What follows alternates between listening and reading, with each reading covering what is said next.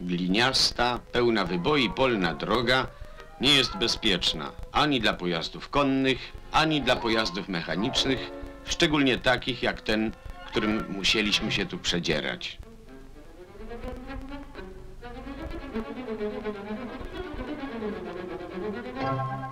Na 13 kilometrze od szosy stało się to, czego należało się spodziewać, a o czym nikt przedtem nie pomyślał. Pękł resort. Na nasze szczęście wydarzyło się to tuż przed zabudowaniami dużego gospodarstwa. Nazwa gospodarstwa nie jest tu ważna, nie będziemy więcej wymieniać.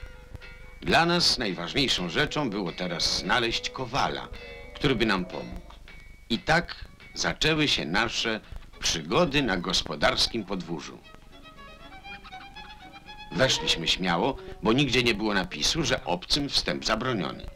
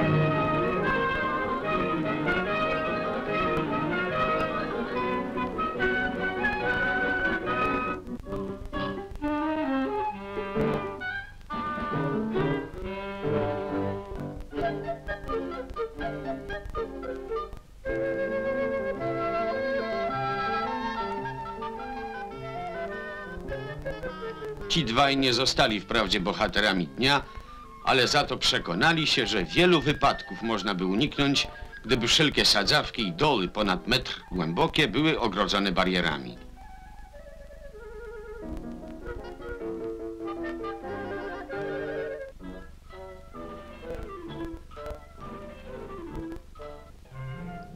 Jeden z nas szukał kowala w innej części podwórza.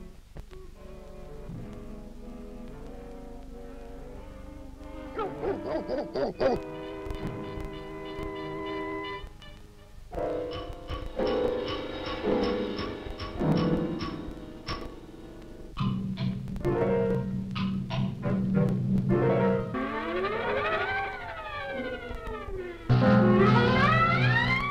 tego wynika, że psy należy trzymać na uwięzi, a grabie ustawiać w taki oto sposób, jeżeli już właśnie na drodze muszą stać. Niebezpieczną przygodę przeżył też w tym dniu źrebak, o którym zapomniał woźnica. Mówiąc nawiasem, woźnica zapomniał też, że podczas ładowania wozu konie powinny być wyłożone, aby przypadkowo nie poniosły.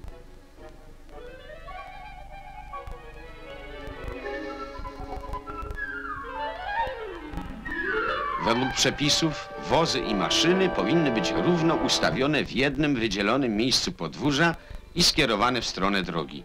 A tu, jak widać, nikt nie pomyślał, że taki nielad stwarza duże niebezpieczeństwo tak dla ludzi, jak i dla zwierząt.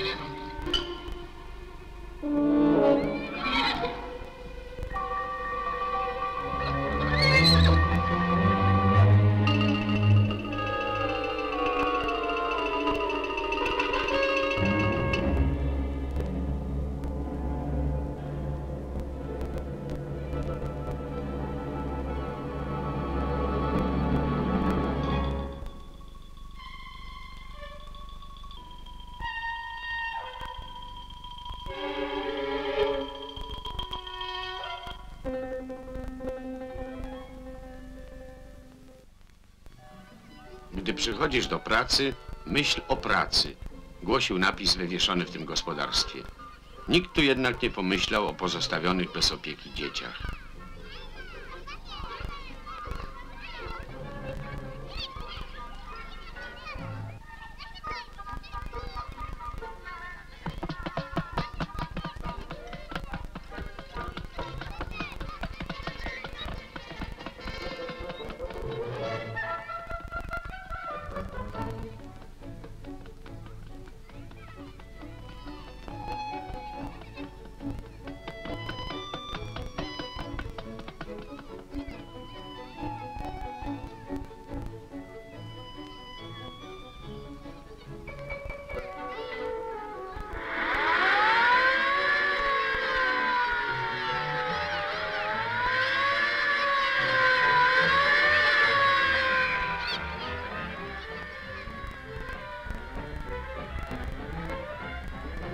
Nie wolno rzucać wideł. Trzeba je wbić w ziemię. W podobnych przypadkach rozwaga i zachowanie spokoju są konieczne.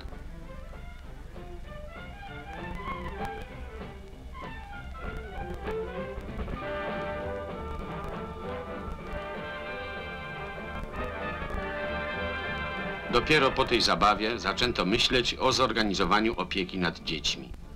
Centralny punkt przeciwpożarowy uporządkowano i zabezpieczono sprzęt. Sprzętem opiekuje się odpowiedzialny pracownik, a od czasu do czasu kontrolę przeprowadza strażak.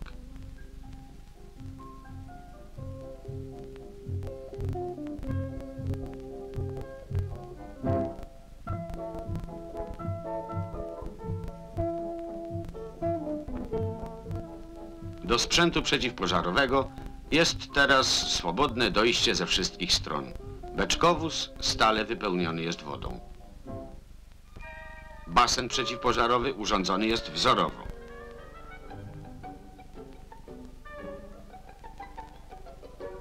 Chodząc po terenie, stwierdziliśmy, że studnia urządzona tu jest prawidłowo. Odpowiednio zakryta i ocembrowana, mieści się ponad 20 metrów od budynków inwentarskich i gnojowni. Woda jest tu okresowo badana przez stację sanitarno-epidemiologiczną.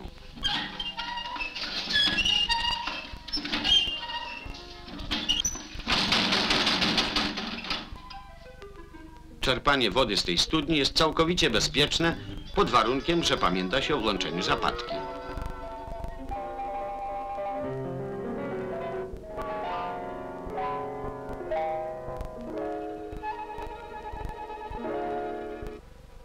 Tak urządzone przejścia przez tory chronią przed potknięciem się. Wszystkie doły są przepisowo ogrodzone barierami o wysokości 110 cm. Schody zewnętrzne posiadają poręcze.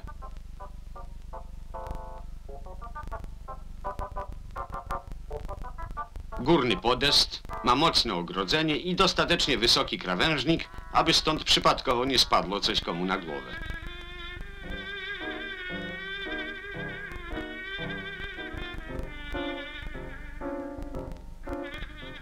Drabiny mają zaostrzone podłużnice. U góry haki do zaczepiania.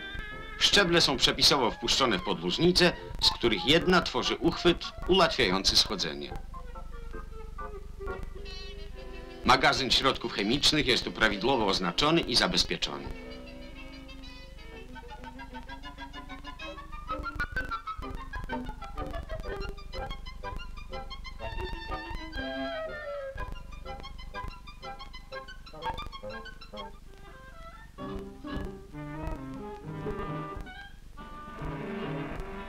Wróć. Idąc z dala od ściany mamy większe pole widzenia i nie tylko z nikim nie zdarzymy się, ale i nie spadnie nam nic z dachu na głowę.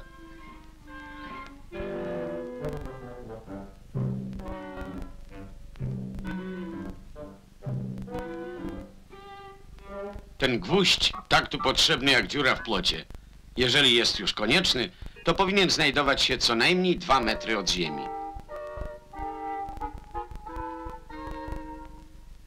Palić wolno jedynie w wyznaczonych do tego miejscach.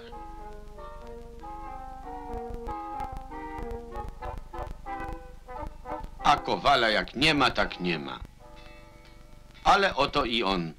Sam niósł ten pręt, pomimo że ze względów bezpieczeństwa powinno nieść go dwóch ludzi. Niedopuszczalny nieład przed kuźnią utrudniał nie tylko dojście, ale i pracę.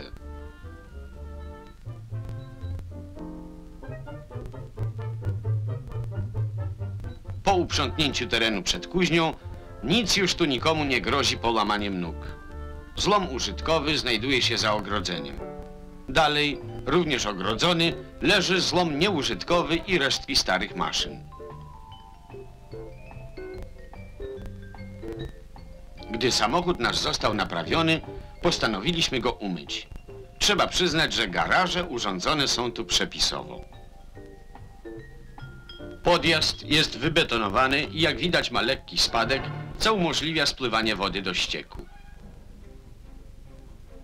Przygody i poczynione tu obserwacje przekonały nas, że na gospodarskim podwórzu o wypadek nawet śmiertelny nie trudno i że tylko utrzymanie porządku oraz przestrzeganie zasad bezpieczeństwa może uchronić ludzi i zwierzęta przed nieszczęściem.